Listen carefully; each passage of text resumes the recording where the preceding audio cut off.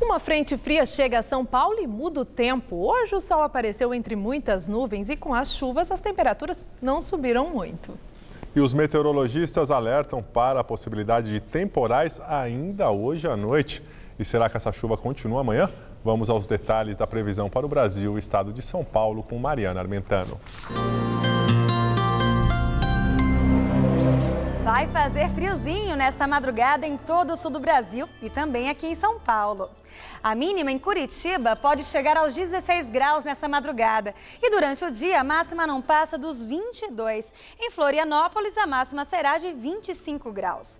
Essa queda nas temperaturas acontece por causa de uma frente fria que avançou do sul para o sudeste do Brasil. Amanhã ela deixa o tempo fechado e chuvoso do leste de São Paulo até a Grande Rio de Janeiro. Nas outras áreas do sudeste, centro-oeste e do norte do Brasil, o tempo fica abafado, o sol aparece entre nuvens e pode chover forte em alguns momentos de maneira localizada.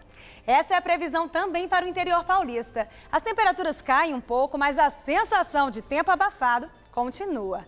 Máxima de 27 graus em Franca e de 29 em Ribeirão Preto.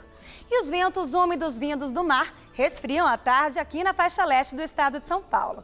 Na cidade de Sorocaba, a máxima fica em torno dos 24 graus.